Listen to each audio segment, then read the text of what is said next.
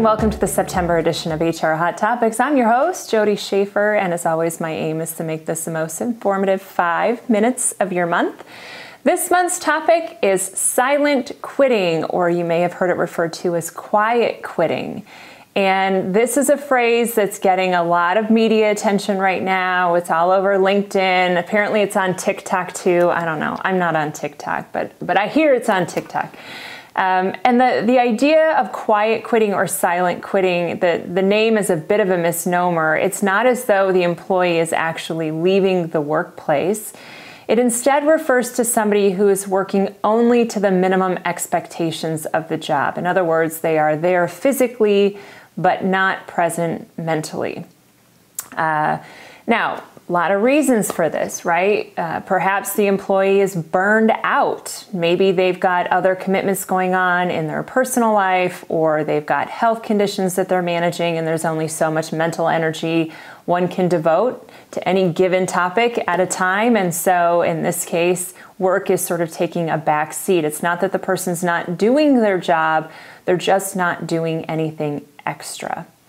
Uh, for some individuals, this idea of quiet quitting is because they feel like they've not been appreciated in the workplace, that it, it doesn't matter if they go above and beyond because it doesn't affect their pay and it doesn't affect promotional opportunities. Um, and so at a certain point, you just sort of throw your hands up and say, uh, I'm no longer as engaged as I once was.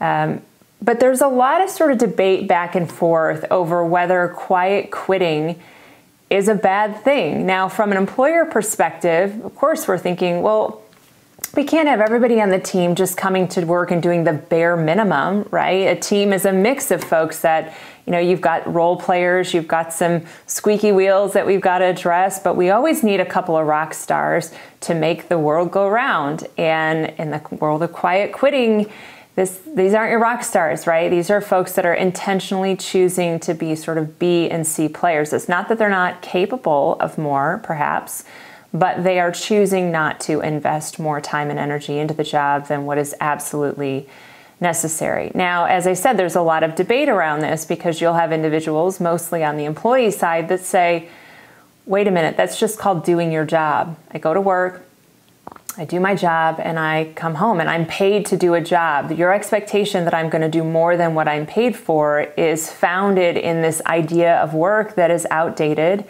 and antiquated. And in fact, studies are starting to show these changing ideas around what it means to work. And I've shared a lot of that with you in past HR Hot Topics episodes.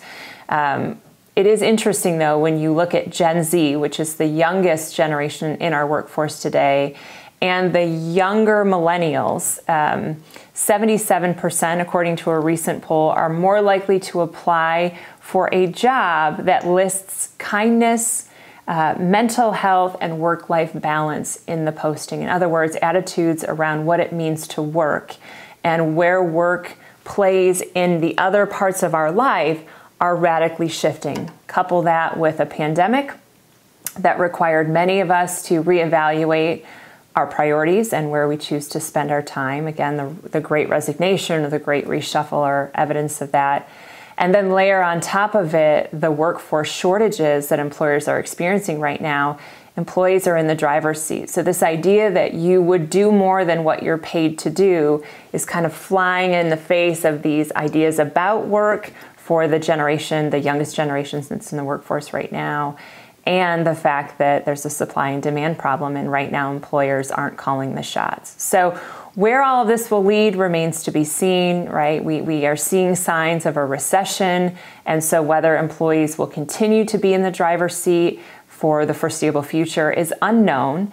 Um, so I think there will be some kind of back and forth about this, but I do think it's worth talking about because if employees in your workplace are showing signs of quiet quitting, um, that's your cue to check in, right? And some of these signs, especially if you are in a remote or a hybrid work environment, it's harder um, to catch the signs because you're not seeing the person physically on a regular basis. And so, without making regular um, attempts to check in with them, intentional conversations to see how they are and how things are going and what some of their pain points are, you may miss some obvious signs. But I want to give you a few of them um, just so that we all kind of have our radar up. The first, especially if you are in a remote or a hybrid work environment, is when you have folks that are showing up for meetings, but they're not participating in the meeting. They're not speaking, the camera's not on. Um, only when called upon do they give a response, and it's sort of a lackluster response. And they're not showing up or participating in anything that would be deemed extra. So, all those social activities that you've been spending a lot of time and money and effort to put on to try to rebuild employee engagement and relationship building and camaraderie, they're choosing not to participate in those. So, those are a couple of signs, right, that you may have an employee that um, is sort of checking out. And again, sometimes the checking out is an intentional choice because the reward benefit equation, right, isn't there for them. So they're trying to rebalance the um, the effort piece of that equation to more align with what they feel they're getting rewarded for.